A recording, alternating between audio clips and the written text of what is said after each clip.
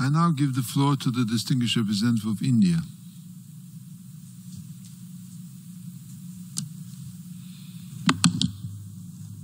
Thank you, Mr. President. Culture of peace is the cornerstone of the foundation of a global order of peace and tolerance. Under the auspices of the United Nations, the promotion of culture of peace has grown into a global discourse. As Mahatma Gandhi said, and I quote, I do not want my house to be walled in on all sides and my windows to be stuffed. I want the culture of all lands to be blown about my house as freely as possible, but I refuse to be blown off my feet by any. India has tried to foster this culture inter alia through tolerance, understanding, respect for differences, respect for other religions and culture, respect for human rights, gender equality, all this under the overarching umbrella of pluralistic ethos and democratic principles. Mr. President, India is not just the birthplace of Hinduism, Buddhism, Jainism, and Sikhism, but is also the land where the teachings of Islam, Judaism, Christianity, Zoroastrianism have taken strong root and where the Sufi tradition of Islam has flourished. Today, every one of the world's major religions have a home in India. The great Indian philosopher Swami Vivekananda said, We believe not only in universal toleration, but accept all religions as true. For millennia, India has provided shelter to waves of those persecuted in foreign lands and allowed them to thrive in India. And our tradition of intercultural dialogue goes right at the time when ancient Indian thinkers had a flourishing dialogue with the ancient Greeks. India is not just a culture, but a civilization in itself. This historical tradition of intercultural dialogue in India has drawn upon our quest for knowledge, a willingness to question, as well as a desire to learn. Thus, for instance, the Buddha urged his followers not to accept his beliefs without questioning them. The Indian Constitution, which declares our nation to be a secular democratic republic, also underlines both the freedom of religion and faith as well as the duty of the state to reculcate a scientific temper among the people. Mr. President, we appreciate the efforts of Bangladesh in presenting a resolution today on the follow-up of the declaration and program of action contained in document L28, which India is happy to co-sponsor. However, we find disconcerting trends in the world of today.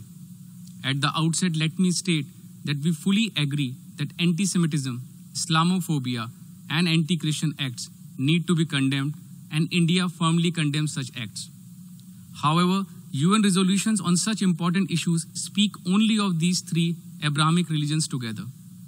This august body fails to acknowledge the rise of hatred and violence against Buddhism, Hinduism, and Sikhism also. The shattering of the iconic Bamyan Buddha by fundamentalists, the terrorist bombing of the Sikh Gurdwaras in Afghanistan, where 25 Sikh worshippers were killed, and the destruction of Hindu and Buddhist temples, and minority cleansing of these religions by countries calls for condemning such acts against these religions also. But the current member states refuse to speak of these religions in the same breath as the first three Abrahamic religions. Why is this selectivity? Overall, Hinduism has more than 1.2 billion, Buddhism has more than 535 million, and Sikhism around 30 million followers. It is time that attacks against these religions are also added to earlier list of the three Abrahamic religions when such resolutions are passed.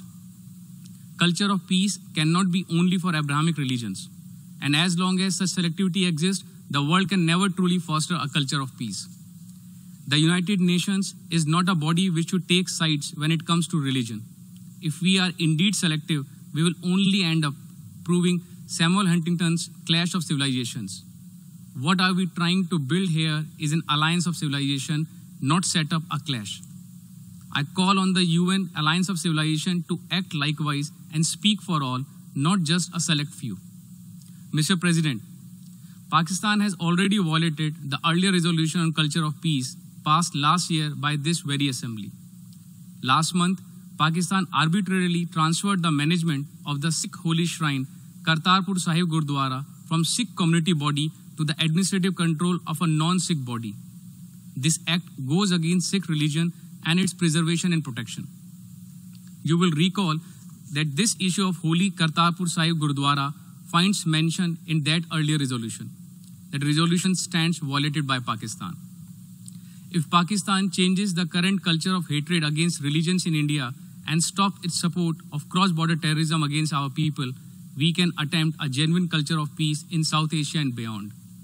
Till then, we will only be mute witness to Pakistan driving away their minorities by threat, coercion, conversion, and killing. Even people of the same religion are not spared due to encouragement given to sectarian killing. Mr. President, in today's world, intolerance, hatred, violence, and terrorism have almost become the norm. There can be no doubt that terrorism, which is a manifestation of intolerance and violence, is the antithesis of all religions and cultures. We are troubled by the increase in resources, financial and otherwise, that are being made available to violent and terrorist groups that misuse religion to justify and propagate their agendas.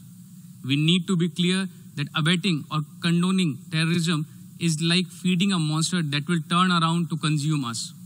Let us fight such negative forces together rather than separately. Let us build a culture of peace together rather than fail separately. I thank you, Mr. President.